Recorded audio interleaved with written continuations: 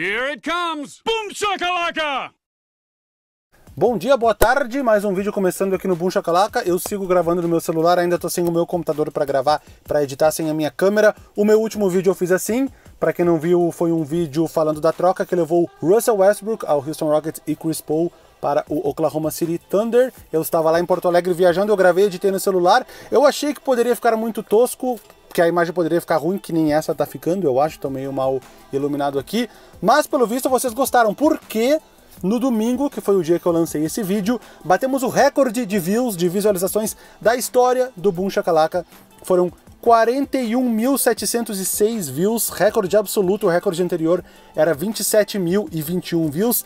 16 de junho de 2017, então mais de dois anos depois, por mais de 14 mil views, o Boom Shakalaka bateu o seu recorde. Então eu acredito que vocês ao menos não rejeitaram o meu vídeo para dar tantos views assim. Então já que deu certo, eu vou fazer de novo. Eu queria, antes de começar o meu assunto de hoje, que vocês devem ter visto no título qualquer, eu queria dar o resultado da pesquisa que eu fiz naquele vídeo. Eu perguntei até onde vocês achavam que, até onde vocês acham que o Houston Rockets vai chegar nessa próxima temporada, e a opção vencedora foi semifinais da Conferência Oeste com 46%, seguido de finais do Oeste com 33%. Eu também acho que vai ser por aí. Eu acho que o Rockets passa da primeira rodada. Não sei se passa das semifinais do Oeste, onde ele deve enfrentar um time talvez como o Lakers ou os Clippers, para chegar às finais do Oeste, ele teria que eliminar um dos times de Los Angeles, e para chegar às finais da NBA, teria que eliminar também o outro, possivelmente. Acho que o Rockets, não sei se tem time para chegar às finais da NBA, eu ficaria muito feliz se isso acontecesse, mas de qualquer forma, a opção vencedora foi semifinais do Oeste com 46%. O que é o meu vídeo de hoje?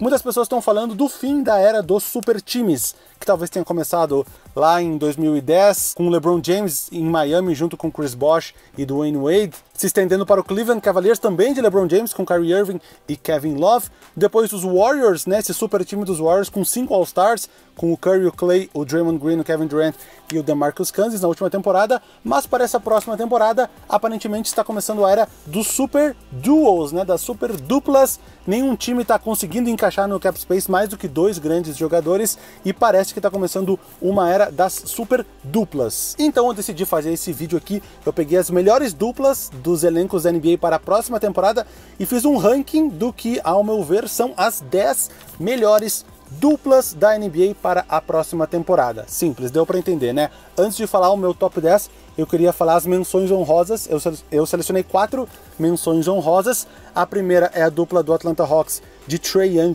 e o John Collins, que é uma dupla meio underrated, né, que tá passando despercebida. Trey Young só não ganhou o Rookie of the Year na temporada passada porque teve o Luka Doncic, né, dominando a NBA já, praticamente um veterano depois de jogar algumas temporadas na Europa. John Collins é o cara que está botando quase 20 pontos e 10 rebotes por jogo sem ninguém perceber. E até pouco tempo atrás, 20 pontos e 10 rebotes era o suficiente para o jogador ser um All-Star Game. Eu não sei até onde essa dupla vai seguir sendo a dupla principal dos Hawks. Eles draftaram o DeAndre Hunter e o Cam Reddish, que são dois bons prospectos. Eu acredito no time do Atlanta Hawks para essa temporada e acredito que Trey Young e John Collins, pelo menos nessa próxima temporada, vai ser a dupla que vai carregar o Atlanta Hawks. Outra menção honrosa: Boston Celtics, Kemba Walker e Jason Tatum. Kemba Walker chegando em novos ares, ele foi um All-NBA Third Team no ano passado, não quis ficar em Charlotte, onde ele poderia ter assinado pelo Supermax, assinou pelo máximo em Boston, e talvez o segundo melhor jogador do time, o Jason Tatum, um jogador que começou muito bem na NBA na sua primeira temporada, não evoluiu tanto na segunda temporada, mas a gente pode esperar uma dupla muito boa do Kemba Walker com o Jason Tatum. Mais uma dupla que eu gostaria de fazer a menção honrosa é o DeMar DeRozan com o LaMarcus Aldridge do San Antonio Spurs, talvez uma dupla cujo jogo não empolgue tanto, né? São dois jogadores de mid-rangers, de arremessos longos de dois pontos, sem muitas bolas de três, sem muitas cestas bem embaixo da cesta. Embora não empolgue tanto, é uma dupla bem eficiente. Eu tenho certeza que eles vão levar os Spurs aos playoffs. Mais uma vez, acho que ainda não é esse ano que os Spurs ficam de fora. Por fim, minha quarta menção honrosa, Luka Doncic e Kristaps Porzingis, a dupla de europeus. Luka Doncic, que foi Rookie of the Year com folga na temporada passada, que nem eu acabei de falar. Ele que já é um veterano, se a gente considerar que ele jogou alguns anos na Europa profissionalmente, inclusive sendo MVP da Euroleague. O Kristaps Porzingis está voltando de lesão. A gente não sabe se essa dupla vai se encaixar tão bem. Eu queria ter colocado no meu top 10, mas eu tenho 10 duplas melhores para colocar. Começando então, minhas anotações estão aqui. com o décimo lugar. A décima melhor dupla da NBA para a próxima temporada, para mim, é Donovan Mitchell e Rudy Gobert. Uma dupla que vem se entrosando, vai entrar o seu terceiro ano na NBA jogando junto. Um jogador muito bom ofensivamente, que é o Donovan Mitchell, um jogador muito bom defensivamente, que é o Rudy Gobert. Utah Jazz vem evoluindo agora com a chegada do Mike Conley, eles são praticamente um trio. Mike Conley, depois de 12 temporadas em Memphis, trocou de time, foi para o Utah Jazz, vem da sua melhor temporada em pontos por jogo, com mais de 21 pontos por jogo, mas eu acredito que ele vai ser mais a terceira peça desse time. Donovan Mitchell e Rudy Gobert, para mim, a décima melhor dupla da NBA. A nona melhor dupla, para mim, é Ben Simmons e Joel Embiid. Individualmente, eu acho que essa dupla ficaria acima nesse ranking, Porém, eu acho que é uma dupla que não se encaixa tão bem o jogo dos dois. Talvez se o Ben Simmons arremessasse um pouco melhor de três pontos, eles funcionariam um pouco melhor, mas os torcedores dos Sixers não têm com o que se preocupar, porque dos times que têm duplas fortes, eles são os que têm os melhores outros dois jogadores, no caso o Al Horford, que veio do Celtics, e o Tobias Harris, que, que acabou de assinar um super contrato com eles. Então, embora para mim essa dupla, os dois jogadores em si como dupla não fiquem tão bem no ranking, eles não têm com que se preocupar, porque eles têm outras peças valiosas no elenco. Oitava dupla no meu ranking, Damian Lillard e CJ McCollum, eles vão para sua quinta temporada seguida como titular, desde que o CJ McCollum ganhou aquele Most Improved Player e se transformou no shooting guard titular do Portland Trail Blazers. O Damian Lillard vem de uma temporada de All-NBA First Team e uma temporada de All-NBA Second Team, o que preocupa talvez seja um pouco do resto do time, porque saíram os titulares Mo Harkless, foi para o Clippers, Alfaro Camino foi para o Orlando Magic, e o Enes Kanter, que foi titular nos playoffs, foi para o Boston Celtics. Tem a volta do Yusuf Nurkic, mas eles perderam também reservas como o Seth Curry e o Myers Leonard. Então, eu acho que a dupla tá lá. Os Blazers podem se apoiar nessa dupla do Lillard McCollum, mas talvez tenham que se preocupar com o resto do time. Sétima dupla do meu ranking, Nikola Jokic e Jamal Murray do Denver Nuggets. Eles têm um entrosamento altíssimo. O Jokic é um cara que faz mais de 7 assistências por jogo, justamente nessas jogadas que ele prepara para o Jamal Murray arremessar de três pontos. São dois jovens, tem muito a evoluir ainda. Com certeza no futuro eles vão estar acima nesse ranking. E o Nikola Jokic, por sinal, na temporada passada ficou no All-NBA First Team, talvez até surpreendentemente, na frente de um jogador como o Joel Embiid, por exemplo. Então eu vejo um futuro muito grande no momento. Sétimo lugar para Jokic e Jamal Murray. O sexto lugar eu coloquei Yannis Antetokounmpo e Chris Middleton, que na verdade essa dupla é Yannis Antetokounmpo e o segundo melhor jogador do Milwaukee Bucks, que no momento é o Chris Middleton. Yannis foi MVP na temporada passada, o Middleton ele foi um All-Star é a sétima temporada que eles vão jogar juntos essa. Na verdade, eles chegaram juntos ao Milwaukee Bucks quando o Yanis era rookie. O Middleton tinha estreado uma temporada antes, jogado pelo Pistons, e aí ele foi para o Bucks e está de contrato renovado. Então essa dupla ainda vai jogar por um bom tempo, a gente acredita no Milwaukee Bucks. Sexto lugar. Quinto lugar, para mim, James Harden, a mais nova dupla formada aí de todas essas, James Harden e Russell Westbrook. Pode até parecer estranho, dois dos últimos três MVPs formarem uma dupla e estarem apenas na quinta colocação. Isso é porque a gente não sabe como essa dupla vai funcionar. Eles já jogaram juntos em OKC durante três temporadas, chegaram às finais de 2012, mas era uma circunstância completamente diferente. O Harden era, ele vinha do banco de reservas, ele era o líder da segunda unidade. O time tinha o Kevin Durant como principal pontuador, então um time centralizado em Westbrook e Harden, embora eles tenham jogado juntos, ainda não entrou em quadra. Então a gente fica esperando se essa dupla vai se encaixar. Se se encaixar, essa dupla pode passar até para o primeiro lugar dessa lista, né? Quem sabe? Quarto lugar. Stephen Curry e Clay Thompson do Golden State Warriors, uma dupla mais do que testada, cinco finais seguidas da NBA nos últimos cinco anos, nas últimas cinco temporadas, três vezes campeões, entrosamento perfeito, se dão bem fora das quadras aparentemente, são jogadores que não têm um ego grande para os padrões de grandes estrelas da NBA, o grande porém é a lesão do Clay Thompson no joelho, que ele se machucou no jogo 6 das finais da NBA.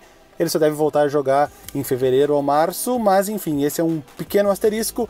Fica no quarto lugar para mim, Stephen Curry e Clay Thompson. Outra dupla com asterisco, que é o meu terceiro lugar da lista, Kevin Durant e Kyrie Irving. O asterisco é porque o Kevin Durant vai demorar para voltar a jogar ele não deve jogar essa temporada, inclusive, talvez só lá nos finais dos playoffs, talvez. Eu acho que eles vão se adaptar, por isso eu coloco eles no terceiro lugar com esse asterisco, que essa dupla só começa a valer daqui a um bocado de tempo. Chegando no top 2, meu segundo lugar, acabei de falar nele, LeBron James e Anthony Davis. Eu só coloco, eu só não coloco eles em primeiro lugar porque eu acho que pode demorar um tempinho para essa dupla dar certo. O LeBron James é um cara que, à medida que o tempo passa, ele cada vez joga mais embaixo, tenta infiltrações, principalmente quando tem marcadores mais baixos. O Anthony Davis joga 90% do tempo embaixo da cesta, então eu acho que talvez possa haver um congestionamento, lógico eles são jogadores com QI altíssimo e eles vão saber como resolver esse problema. Inclusive nos últimos anos o LeBron James melhorou muito o arremesso dele, exceto no lance livre, onde ele tá cada vez pior, não sei porquê, mas enfim, ele tá melhorando o arremesso dele de três pontos. O Anthony Davis é um cara que tem um arremesso bom, de, aquele arremesso longo de dois pontos e também tá desenvolvendo um arremesso de três. Então eu acho que eles vão conseguir resolver esse problema e botar essa dupla para funcionar. O problema é a defesa do LeBron James, que com o tempo ela tá ficando um pouco pior, lógico, ele precisa se poupar com a idade para conseguir se desempenhar bem no ataque. Ele está tendo que poupar um pouco a defesa dele. Teve alguns episódios na última temporada onde ele não foi bem na defesa. Por fim, o primeiro lugar, eu estou falando até meio rápido para esse vídeo não ficar muito extenso. Primeiro lugar na minha lista de duplas atuais da NBA, vocês devem imaginar qual dupla é. Kawhi Leonard e Paul George, uma dupla de two-way players, aqueles jogadores que são muito bons tanto no ataque quanto na defesa. Ser da mesma posição, eu acredito que não vai ser um problema, né? Ambos são small forwards de origem, isso pode ser adaptado, eles podem ocupar as duas posições de ala, ou de repente puxa o Paul George para shooting guard com o Kawhi Leonard de small forward. Ambos vêm de temporadas excelentes, o Paul George na temporada regular, ele foi até candidato a MVP, o Kawhi Leonard acabou sendo o melhor jogador dos playoffs, levando o Toronto Raptors ao título da NBA. Ambos estão voando, ambos querem jogar juntos, ambos são da Califórnia e ambos entram em um time que já está montado, que é o Los Angeles Clippers, que se classificou nos playoffs na temporada passada sem uma grande estrela. Junto deles estão Patrick Beverly, Landry Shamet, chegou Mo Harkless, tem o Montrezl Harrell, tem o Lou Williams, melhor sexto homem, Zubats como pivô, tem o, ja o Jamichael Green, que vai continuar na franquia, enfim, é um time bem montado, então eu acredito que esta dupla Kawhi Leonard e Paul George seja a melhor dupla da NBA na próxima temporada, e eu estou acreditando que os Clippers vão ficar com o seed 1 na Conferência Oeste. Esse é o meu ranking, agora sintam-se livres para me xingarem nos comentários, colocando a ordem que vocês preferirem. Eu sei que esse é um tema um tanto polêmico, né? Rankings, rankings de um modo geral, são um tema polêmico, mas eu quero saber quem vocês acham que é a melhor dupla? Se vocês acham que eu escrevi, se que eu coloquei alguma bobagem muito grande aqui no meu vídeo, digam também alguma colocação muito discrepante com a opinião de vocês. Vamos discutir nos comentários sem palavrões, sem xingamentos, mas eu quero saber a opinião de vocês, beleza? Valeu! Quem assistiu então a mais esse vídeo improvisado, acho que a partir do meu próximo vídeo eu já estou de volta lá no meu escritório com a minha câmera e o meu computador. Nos vemos então nesse próximo vídeo. Valeu, grande abraço, até lá!